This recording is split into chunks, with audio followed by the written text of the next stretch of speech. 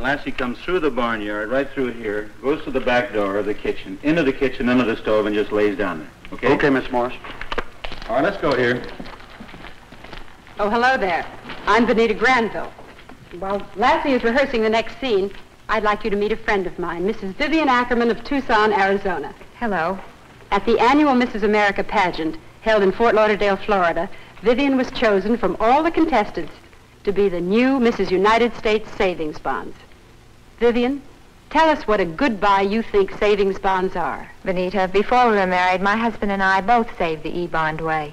These bonds helped us to buy our home. We're bringing up our three children to save with United States savings stamps and turn them into bonds. Honestly, I can't think of a better buy for the average American savings, either on the payroll savings plan where you work or at your bank. They're completely safe and so convenient. And with the new high rate of interest, even a lawyer's wife like me can't think of a thing to argue about. And that's what Vivian Ackerman, this year's Mrs. United States Savings Bonds, thinks about Uncle Sam's bonds for you, for me, for everybody. And as a wife and mother, I say top your shopping list with United States Savings Bonds.